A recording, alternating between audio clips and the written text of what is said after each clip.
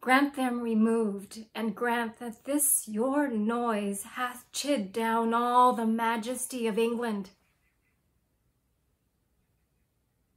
Imagine that you see the wretched strangers, their babies at their backs and their poor luggage plodding to the ports and coasts for transportation.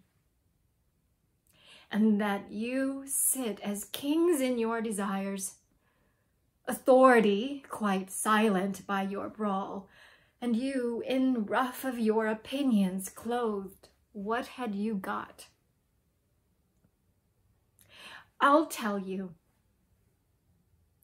You had taught how insolence and strong hand should prevail, how order should be quelled, and by that pattern, not one of you should live an aged man, for other ruffians, as their fancies wrought by self-same hand, self-reasons, and self-right, would shark on you. And men, like ravenous fishes, would feed on one another. You'll put down strangers, kill them, cut their throats, possess their houses, and lead the law of majesty in line to slip him like a hound.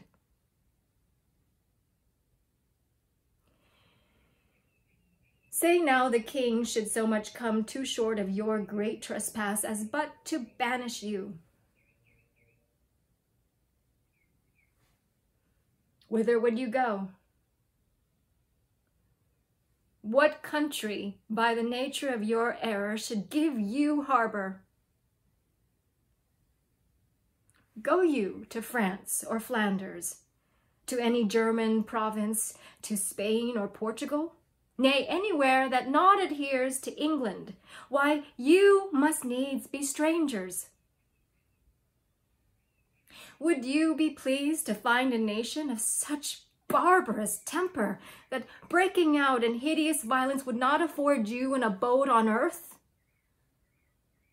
Whet their detested knives against your throats, spurn you like dogs, and as if God owed not, nor made not you, what would you think to be thus used?